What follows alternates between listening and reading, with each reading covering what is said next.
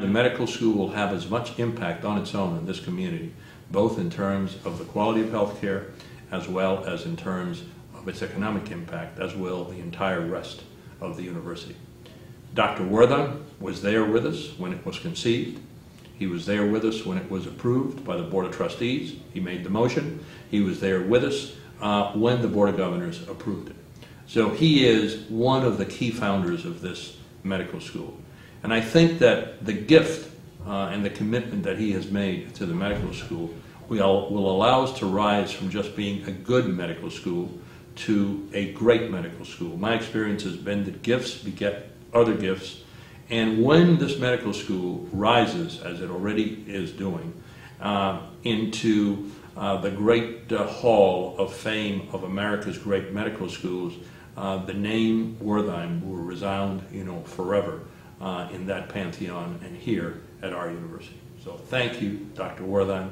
Thank you, Nicole. Thanks to the whole family for making this jewel of FIU shine even brighter. The, the reason that we made uh, this gift is to be able to improve what happens in our hometown. Miami and South Florida is our hometown, and I would like to see our quality of life improve.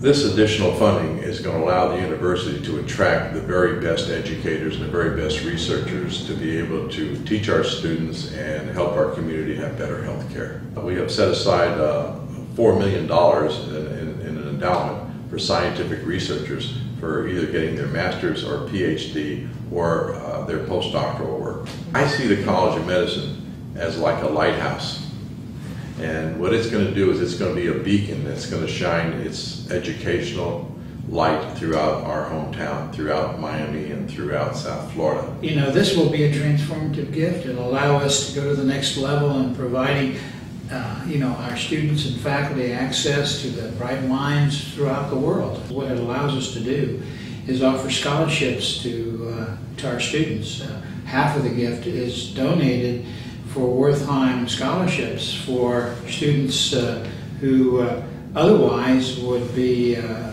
accumulating a lot of debt while going to medical school.